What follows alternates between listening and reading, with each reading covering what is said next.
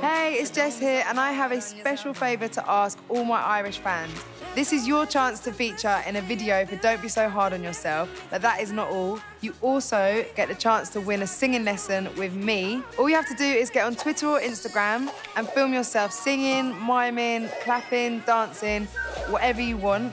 And what we'll do is we'll cut it all up and then we'll put me in it and you guys in it and make a brand new video for Don't Be So Hard on Yourself.